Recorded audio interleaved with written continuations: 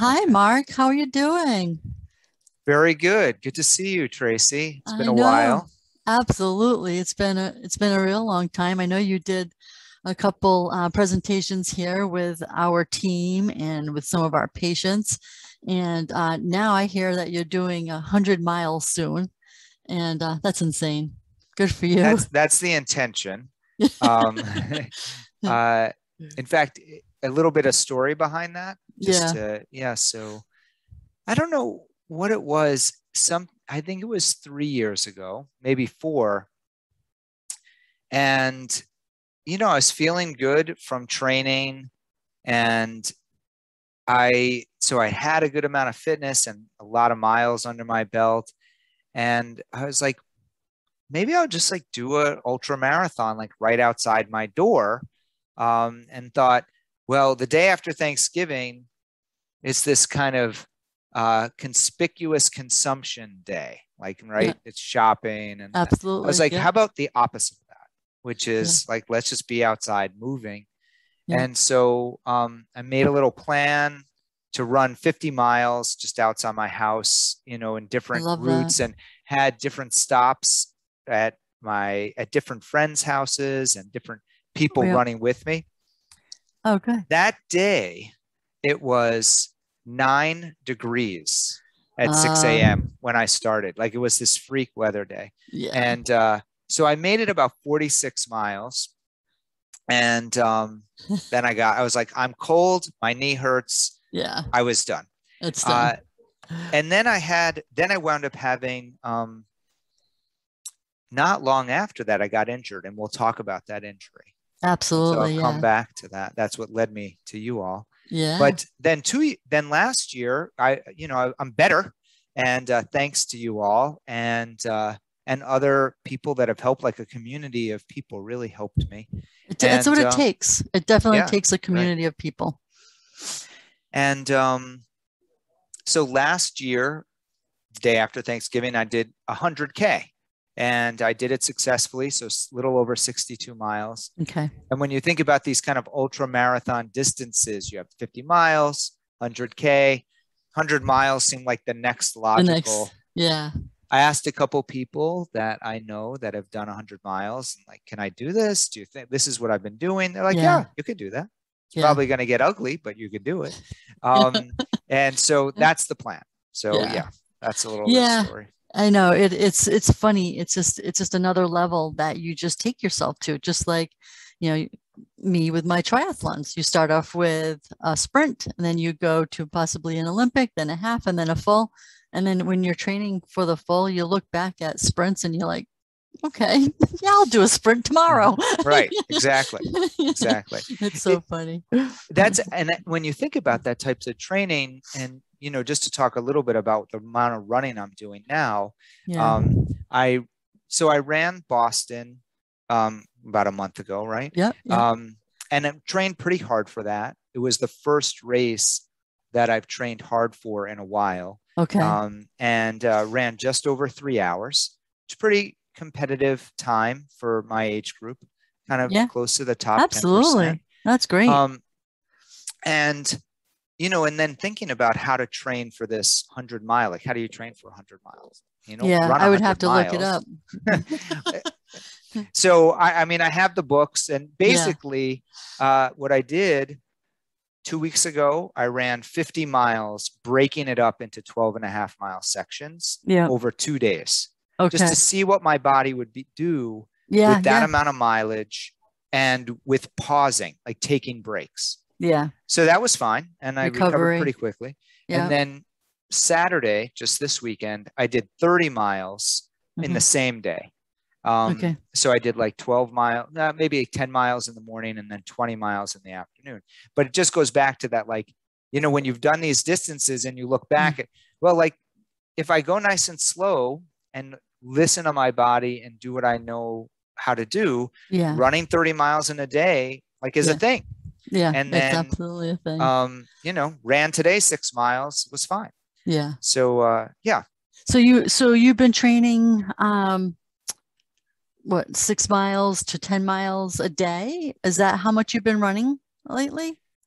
for the um Or do you have any Boston breaks? Marathon. Yeah. So for the Yeah. Boston Marathon, I did a like a pretty good 16 to 8 week training cycle Okay, yeah. that caps out like at in the 60s, but probably averages 50 miles per week.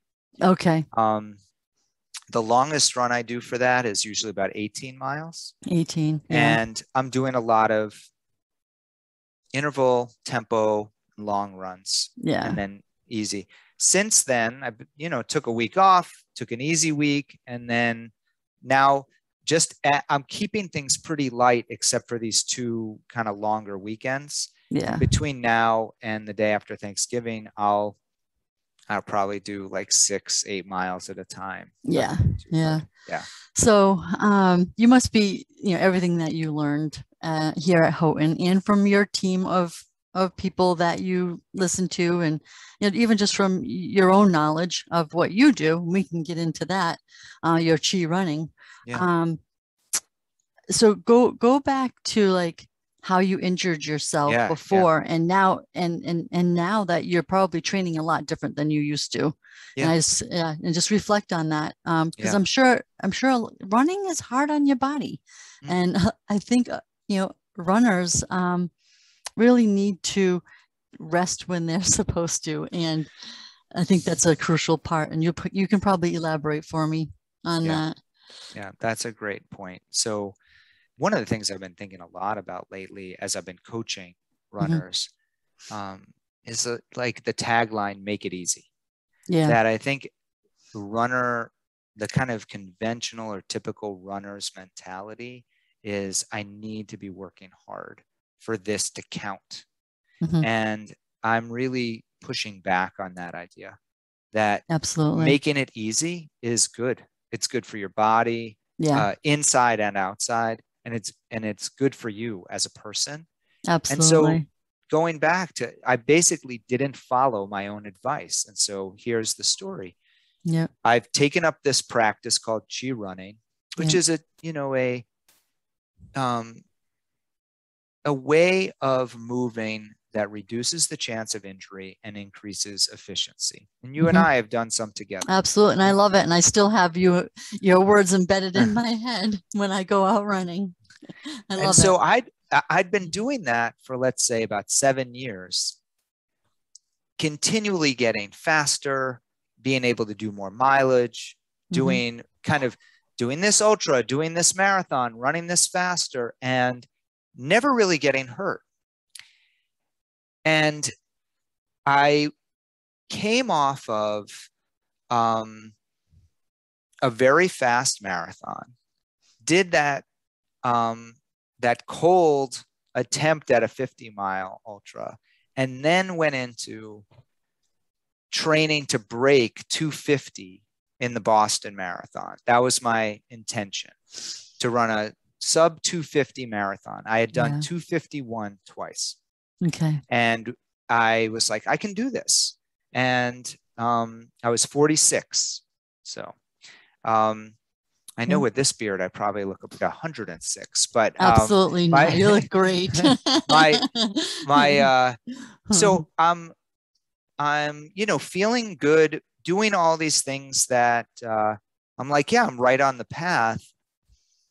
And I did a, you know, when you're trying to PR and you're getting older and you're running at those paces, you're kind of on the edge, you know, Yeah. and of I just- yeah, edge of injury, right? you're right. You're kind of, you're like, how close to the edge can I get without Yeah. going over the edge? Yeah. also it was interesting it was the first time in my kind of focused racing life mm-hmm. that i didn't have a coach i Okay. had used an online co- a coach that worked with me online in fact uh, i'll give him a quick plug i have the book right here um, the author of this book hanson's marathon method Okay. and this is what I use with a lot of clients. Luke Humphrey was is the guy that wrote this. He was my Cool. online coach, and and at you know I I was like I kind of learned this. I can coach myself. Well, I knew what to do in terms of training, but I wasn't listening to my. I wasn't putting it all together, and I started to have a little bit of Achilles tendonitis, like or pain in the Achilles tendon. Okay. And also, what was happening is I made a commitment to try to coach more. So, coaching is like very part time for me, but I was like, I'm going to try to build this out a little bit and see. And so, I was training for the Boston Marathon, trying to break 250 and increase the number of clients I was working with at the same time. And so I'd go for a run with a client, even though it was nice and slow Yeah. in the morning. And then later or right after, I do Yeah. my own run. No recovery time. No Yeah. recovery. So I was adding significant mileage while Mhm. I was adding intensity. This Achilles, Achilles tendonitis starts creeping in towards the end of the training cycle. And you know, I did exactly what I would tell everyone else not to do, which is I just kept going. Yeah. So I, so the, here's the, I guess the long story short is I did, what is that? That New Bedford half marathon that a lot of Boston marathon runners do and prep Yep. for Boston. Yep. Yep. Basically, by the time I got done with that run, I think I had torn the Achilles, Yeah. a slight tear. Didn't know it at the time, but but the day after that, my Achilles tendon was probably two or three times the thickness that it usually is Okay. in a very specific spot. Yeah. This was a month before the marathon. So Yeah. of course I'm like, oh, maybe it'll go away. Maybe it'll, it's just like got reacted, it'll go down. I didn't listen. I kept trying to kind of, I gave it a break. I came back. And long story short, I wound up trying to come back, really didn't pay attention to it, did the Falmouth road race. Okay. I mean, the A lot of and the- people do that. Yeah. Yeah so um uh you know my dad lives in falmouth it's a big deal and so i was Mhm. excited about it but i'm running on what's not feeling great and i'm but i'm like i'll test it and maybe it's okay okay all the things again you're not supposed to do and i if you if i was coaching myself i'd say no No. no no no No. uh so uh, just uh, like a couple miles left in that race my glute started to hurt so badly i could barely walk Not crazy. on the same side of the Mhm. Achilles tendon. yeah. That triggered me to stop and get help. Yeah. So that is what happened. So basically, I overtrained, yeah. regardless of how strong your technique is. Yeah. The body's the body. Yeah. And I think a lot of runners do overtrain. Um, they they they're going for distance distance. Um, they're out there just trying to get that extra mile in, or they're, they're at the, the next level. They want to go to 16. They want to go to you know 18 or or more, um, instead of listening to the body and going through maybe heart rate Right. or and and and making sure that recovery and not Yeah. doing anything at all. And and the thing is with physical therapy too, the the minute you do have a little bit of an injury and you can't recover and it keeps coming back each time you Yeah. go out there, you really should go go to your you know someone in your circle um, that has experience, either a physical therapist or um, you know chiropractor or you know a foot specialist Yeah. and see uh, or whatever body part you know is is is ailing you because it can come from it can come from your back it could be you know, it could be any part That's a great segue. yeah That's right. And and that's a great segue to what brought me to you all. Yep. Because the the location of the injury was my Achilles tendon. Yep. But that was not the cause of the injury. right right.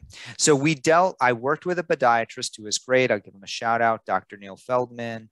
He has offices in Westborough and uh, Worcester. And we did this, uh, what is it, platelet rich plasma, Mhm. plasma, yeah, platelet rich plasma therapy. They inject your own white blood cells directly into the tissue to stimulate healing. nice It takes a while. I was in a boot. It was it was Yep. tough. i remember you thing Right, I was like, around in your boot hobbling around, right? And um, so then but but it was pretty clear that that achilles injury was something else was going on and Right. so that is what i wanted to highlight in the work with you all and the work with todd and and i want to also say it was multiple people i worked with at your office that i really felt like not only were they bringing their own expertise, it was pretty clear they were communicating with each other and it felt Right. very seamless and supportive. So just want to note that that um that that felt like different to me that people knew like wasn't like I probably worked with four different people in your office at different times. Yeah. And I felt all of them enriched my experience, but also built on each other. Yeah, we. I think. Um, I think the reason was because we just all wanted to kind of help you out. Yeah. Um, and you were helping us out with the chi running, and and and you did see that. Like we all knew about you know your injury, and and um, I think sometimes people want to just see one therapist, which is that's great as well. But did you find that having like four different brilliant minds was like you were getting something different from each It was person was- too? I- Because I've done that. yeah, I think it was I think we could say it was different and it had a thread of similarity, which held it to be con- coherent, right? It wasn't like do this, then do this, then do. It was more like here's what we believe, here's what we're going to work on, and some different variations of that. Yeah. Um, yeah. So I really appreciated that. Um, and with the other thing that I I was reflecting back about that experience it was the first time that I was really putting together the connection between the different parts of the body from a upkeep and injury prevention point of view. I think about the different parts of the body all the time in terms of like how to move them to be efficient, Right. but I hadn't thought as much about how they connect to each other to keep you healthy and how Right. one issue. And so it was really fascinating. Like we diagnosed pretty quickly that one side of my body was very underdeveloped compared to the other side. yeah. And of course, it was the side that got injured. Right. And right. there was this whole kind of posterior chain going on Yeah. and identifying that of course we did I, this is what i was thinking tracy like we did i learned a bunch of exercises to build the strength on that side of my body and that was helpful and also maybe equally as helpful was just the knowledge of what was happening that i could bring into my activity and say oh that's going on like I can pay attention to that now in a way that I couldn't before I had that awareness. And I would never have had that awareness. No one, I've been to a lot of people. I mean, I've been a coach, I've been, you know, I've worked with chiropractors and uh, masseuse and, um, and other physical therapists, and no one's ever said, You see that? And so that was really important to have happen. So thank Oh, you. Thank you. Oh, thank you for the compliment. And I, I think that is what kind of makes us stand out because I do hear that from um, a lot of people that that we, we've we've found something that's not even connected. Well, it's connected to their injury, but we end up finding that they actually have a weakness somewhere else, and which Yeah, is causing that. That's right. And and um, yeah, and it, it just helps so many people. Um, so, with that said, I want to um, I want to ask you, um, what are some of the things that you use every day that um, you've learned from us that now you're kind of keeping in mind um, going forward? Because now you're doing 100 miles. Yeah, I, I think it's three things. Yeah. Um, one is that it's important to. I, I think I Todd was the first one that said this to me, and of course it's just like probably so true. Um, right exercise, wrong time, like meaning. I've been much more thoughtful about not trying to rush into exercises that I'm not ready for and Right. I've you know worked with other people that have been like you should do this and this and I, and I'm like oh that sounds fun and exciting and then I'm then realizing no my body's actually not ready for that. I, Right. that seems like a great exercise but it's not ready for that. So I think what I've learned is do the exercises that are small that focus on a specific body part and that feel that aren't overworking. Kind of getting back to this like it doesn't have to be hard to be effective. Um, Right. so that's something so i you know even simple like one-legged glute bridges and just doing a set or two to activate the glute not to try to do you know uh, what is it one-legged or uh, single-legged deadlifts with tons of weight. Like I don't. That's not what I need. Right. Uh, so do what you need. So that that was really important. Um, and what I guess I'm also bringing in is because I have, as I mentioned, this new awareness of my body, of what's, you know, my body's my body. Like it can't escape what my body actually is like. I'm aware of that when I'm moving. Mm-hmm. And I incorporate that into my chi running technique. And I think as someone that's learned a bit about chi running, chi running allows you a bit more of a body sensing, a bit right. more of awareness of what's happening in your body. So I combine this chi running body sensing with knowing that I have a bit of an asymmetry and I can help my body work correctly instead of right. compensating too much. Right. Yeah. And I, I think that has a lot to do with, you know, people thinking that they do need to build up their glutes or build or their cat or they have sore calves afterwards or, you know, what is their, you know, strike. But it's really, it's a lot of it is just coming right from their their core or their if their hips are weak then maybe they'll get low back pain or if you know they have ankle pain it might be because they're not activating their their glutes.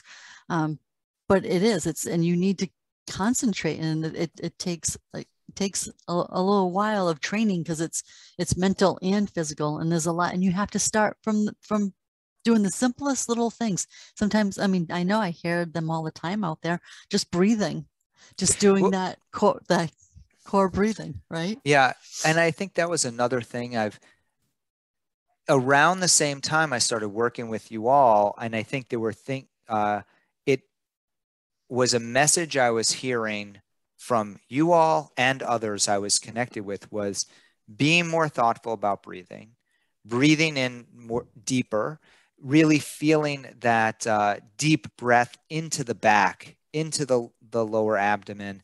And I did some research and some work around breathing that I brought into my running too. Um, and I think that was really stimulated by coming to the office as well. So uh, definitely got me thinking. I was like, of course. Like again, what might seem obvious. I know, yeah. But in retrospect, right? Then you're like when someone shows you and and points mm. out, you think you're breathing deep, yeah. but actually let me put my hand here and yeah. see if we can feel you breathing into my hand and you realize oh no i'm not so yeah. that was very helpful for sure absolutely so now now you're, you're feeling good you've been yeah. you're, you're feeling injury free you're feeling good you're out there practicing and and and now you so tell me about this challenge. Give me a little bit of insight about sure. what you're going to do. Yeah so in my real job, uh, other than running coaching, um, I had the the really the honor to work with a with a person who has been a mindfulness director at a school in Massachusetts for many years, um, basically offering mindfulness practices to the school community, to staff, students, and parents to help support that community. Absolutely. We started a nonprofit organization to replicate that model of having a mindfulness director in every school. So imagine, you know, in every school, we have a principal, we have a gym teacher, we have social workers. Our vision is what if we had someone in every school that supported kind of the mental and emotional health through mindfulness um, right. and uh, mindful engagement, mindful attention, mindful awareness, a meditation. And um, we have six people in schools around the country right now. Okay. And we're hoping to have 10 more this fall, this oh, coming wow. fall. So we're new, but growing. That's and uh, we're, I don't know if you're aware, the Tuesday after Thanksgiving is called Giving Tuesday.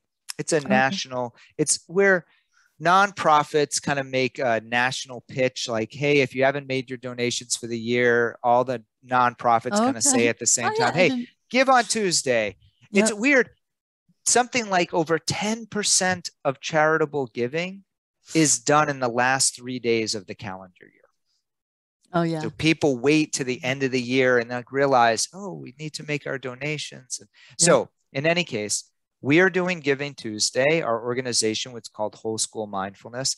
And I decided to link this run that I was going to do to that um, fundraiser. So I am attempting, I've set the ambitious goal of running 100 miles, and I've set the ambitious goal of raising $100,000. Honestly, I've never done either one. So I'm going to see how it goes. But um, that uh, that money raised will go directly to our nonprofit that's serving school communities through mindfulness. Awesome. And um, I'll make sure that the link is in the video in our um, in our um, instruction section um, of of YouTube, and it will be on our, in that, um, so everyone can go in there and um, donate if they if they want. And I think it's Yep. such a great idea. Um, I love that mindfulness because um, well, we're in a position where um, we're always saying try PT before you know any type of medications, and I think it's the same thing with mindfulness where um, the the world is just kind of really crazy, and we're running around too busy, and being able to meditate or having the tools and learning how to you know have different thought processes to help with instead of you know instead of you know being that for i know you know medications are very important uh, you know but at the same time um let's try some other things you know and and i, I think mindfulness is is going to be a, a i love the fact that you're doing that i love that idea Thank you. I, yeah and I'll just leave you with this. It was connecting the dots. I think the approach you all take is to address the needs of the whole person, you know, Right. looking at what's really going on fundamentally and systemically. And I think something like mindfulness is a similar type of approach of we're not just going to treat the symptom, um, we're going to look at what's going on in the whole system right and becoming aware of everything so that we can um, address the needs of the full system, not just that one little thing. So Right, yeah, I see a everything's lot of connected, connection. even- it's, everything's connected. That's Yep, right. even with That's your right. thought process That's right. That's Yeah. yeah. Ah, so um, I think um, I, I really appreciate you joining me today. I think we went over a lot, and um, I'll let tell the audience to definitely um, connect with you and donate to your cause. And good luck with your hundred miles. Oh Thank my you. God! Are you videoing it or anything? I don't know what I'm gonna do. Like, Me uh. I think my sister is the uh, kind of the uh, social media specialist, so maybe we'll do some like FaceTime live or something like that.